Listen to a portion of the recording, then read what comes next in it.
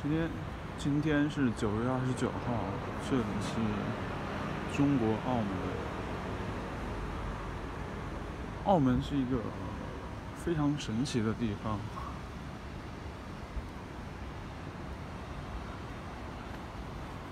其实，在中国，我突然觉得，突然发现，中国居然有四种货币。第一种是中国大陆的人民币，第二种是中国澳门的澳元，第三种是中国香港的港币，然后第四种是台湾中华民国台湾的台币。突然就觉得还是蛮神奇的，因为在澳门不可以使用，不可以直接使用人民币。但是可以直接使用港币，就是在澳门是可以用港币跟澳元的，台币也不能用。然后在台湾的话只能用台币，在香港的话只能用港币，在大陆肯定只能用人民币。澳门是一个闻名天下的一个赌博的城市。澳门很小，它就是一个很小的城市，它跟香港比，面积会小很多很多。所以澳门这人口密度世界第一，但是它的人均人均 GDP 也是世界第一，它的人均收入很高，所以他们这的物价也很高，然后他们的最低工资也很高。呃，这个最低工资，我看了一下街边的广告，写的是，一般来说，呃，随便一份工作大概都是一万澳门币，就折合大概九千人民币，九千人民币大概也就是一千五百美金不到，但是这个对于中国来说，中国大陆来说的话。已经算非常可观的了。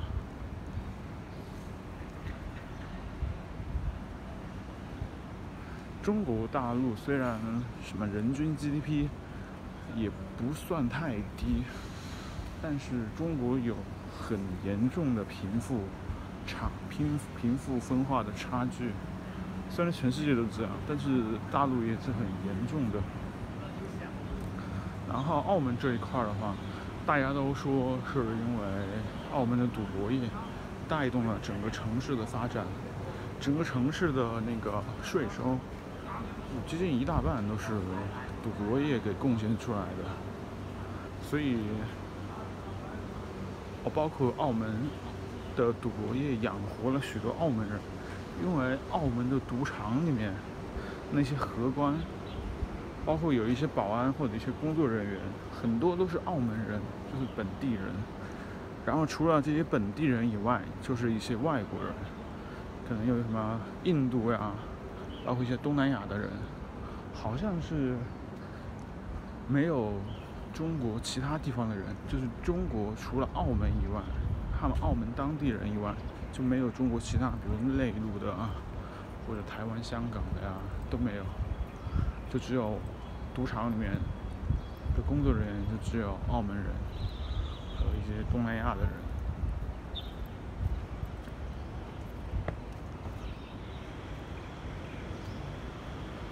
澳门赌场的规模我就不说了，这个体量是非常庞大的。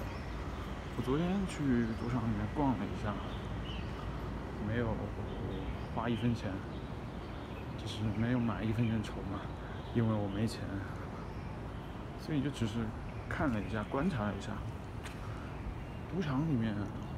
绝大多数的赌客几乎都是华人，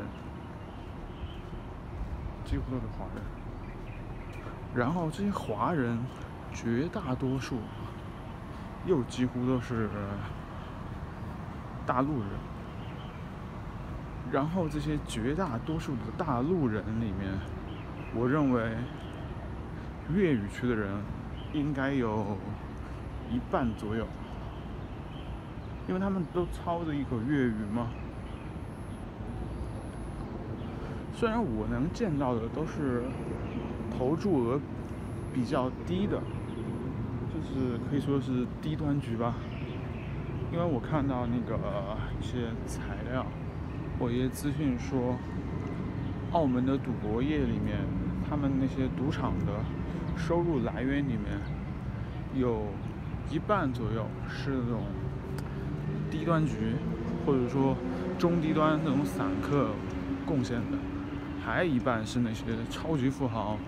他们自己去包一个小场地，就是自己玩自己的。还还有一半是这种大富豪，他们贡献，但这些散客也有一半呀。所以我说我说的所谓的绝大多数这些东西，都是以这些散客为那个为依据的。这个是澳门金沙，在因为澳门是。就在大陆旁边的澳门最主要的一个边境口岸叫做关闸，在大陆叫做拱北口岸，但是在澳门这一块叫它叫做关闸。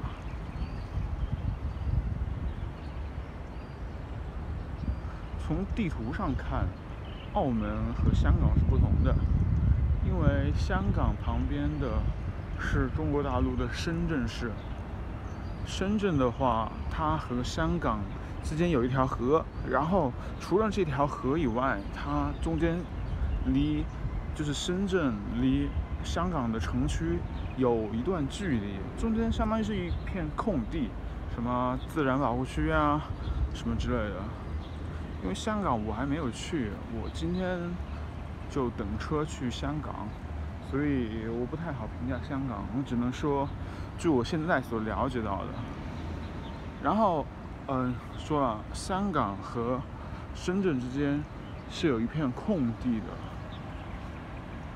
从地图上这样看。然后它的城区是远离深香港的城区是远离深圳的。澳门不一样，澳门从。中国大陆的珠海市过了那个关口以后，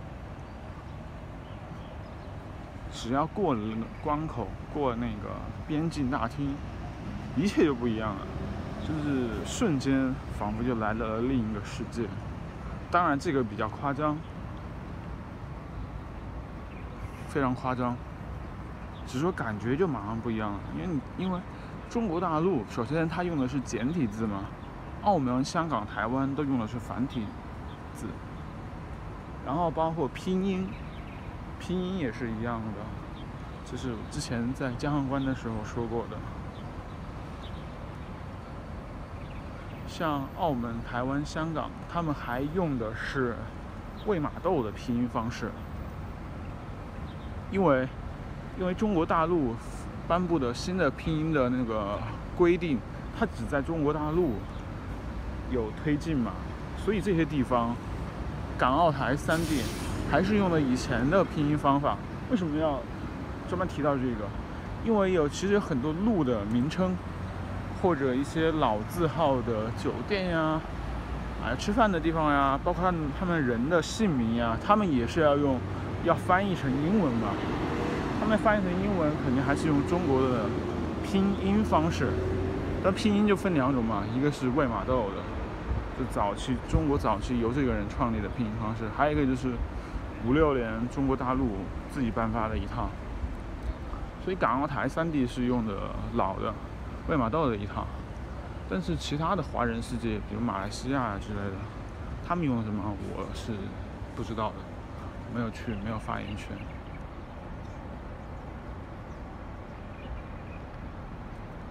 从珠海进入澳门。以后刚过关，他们在那个关口门前就有许多赌场的巴士，他们那一个叫做免费的穿梭巴士，就是它停在关口那，然后你进来以后，你可以直接上它的巴士，也是免费的。然后你上了巴士，那个巴士就是把你送到酒店。因为澳门这些赌场，它几乎都是一个赌场后面就是一个酒店，就是酒店跟赌场是一体的。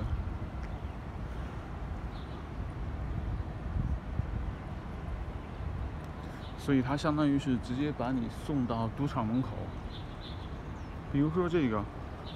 就比如这个，它从口岸，然后就有巴士在那等，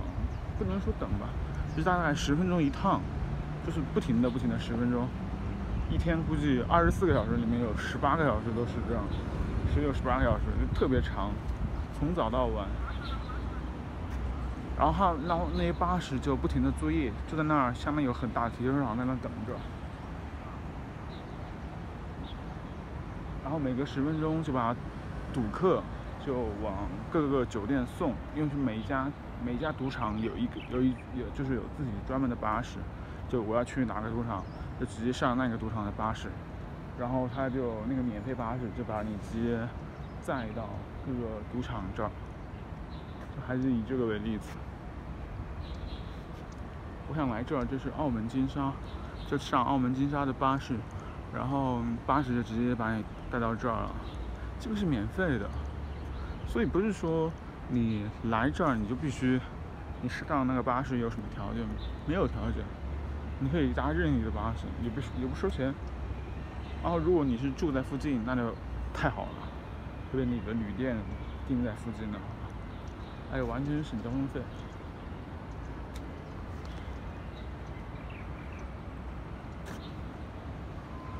然后，这是他这边最便利的地方，包括，呃，赌客在赌场赌完了以后，他要回到大陆那边，他就去还是坐酒店的巴士，一样的，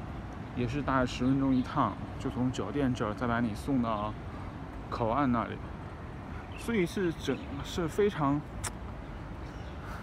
非常。嗯，非常有组织的一套整套系统。就你来，你只要进了，你只要过了关口，从大陆来到了澳门，马上有巴士把你送走，送到酒店来。好，酒店来，你进去，送到酒店门口嘛。酒店门口进去以后，就是赌场跟住的地方，就是酒店嘛。然后你潇洒完了以后，出酒店的门，又有巴士把你送到大陆去。送到口岸去，然后口岸你直接走路就回到了大陆，所以有许多那种一日游的大陆人，可能因为还是因为澳门离广东最近嘛，所以广很多粤语区的人，为什么我说这边有很多粤语区的赌客，就是因为他们近，他们就可以碰个一天两天就来一次。所以碰到很多早上就过来，然后玩一天，然后晚上又回去，因为他们的巴士就从酒店到口岸的巴士，大约是晚上十二点钟，晚上十二点钟才收班。所以你，比如你早上七八点、九十点钟，早上十点钟进来，你可以在这里待十二个小时，然后再回去。所以有许多一日游的，因为他们很方便嘛。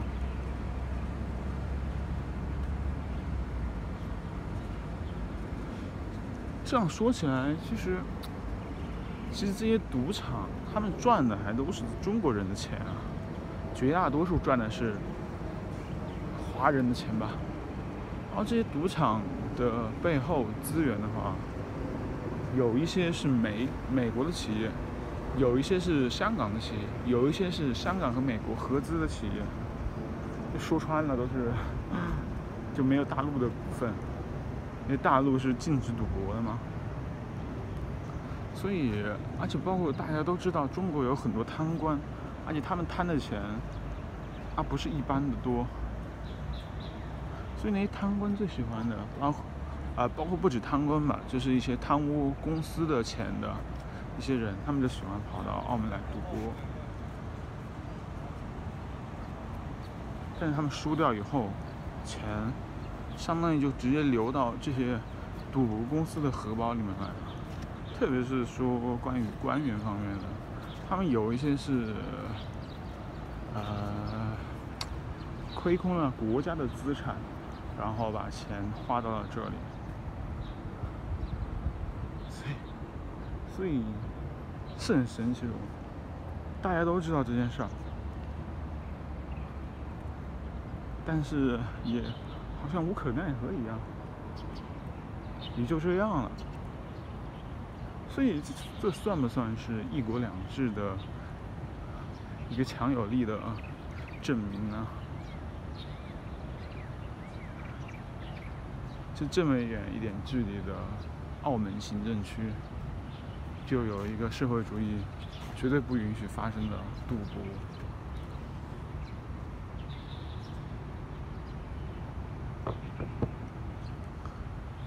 然后从呃澳门有许多的和大陆很类似的地方，很很类似。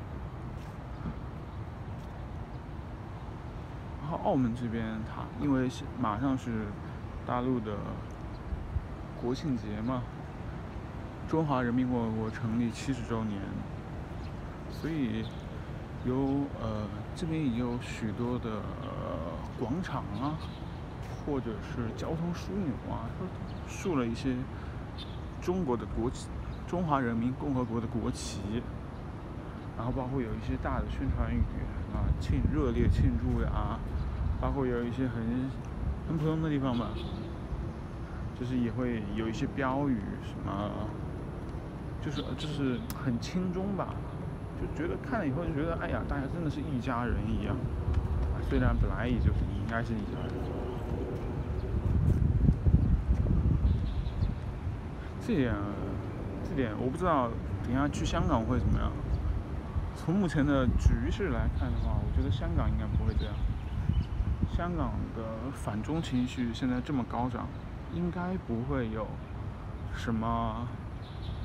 很轻中的行为的。心中的标语，我估计很难见到。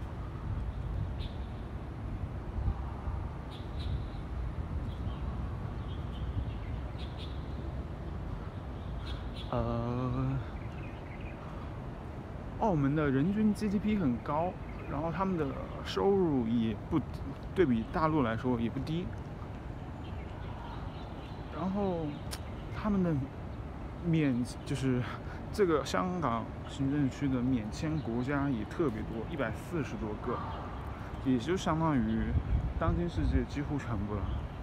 澳门跟香港比，其实澳门的护澳门的护照应该是比香港更好用的，因为澳门所有一切指标几乎都是高于香港的，只是澳门就有点像闷声发大财的感觉，就是澳门一直都有点默默无闻一样。不像香港，香港一搞就有新闻出来。澳门就有点默默的、默默的，就所以很多人提到澳门就是啊，赌博业，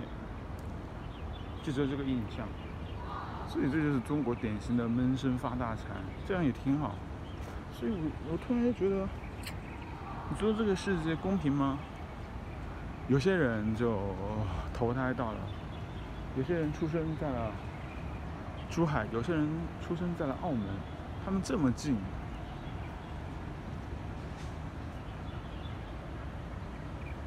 澳门就是一个高福利的地方，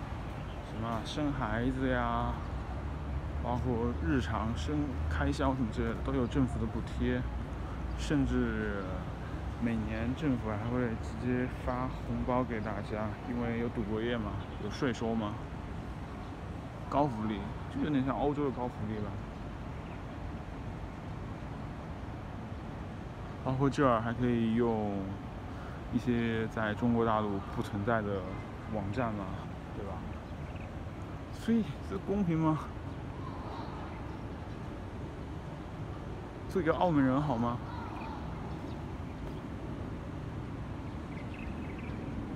我也不知道，我也不知道何为公平何为不公平。我只知道这里不是我的家。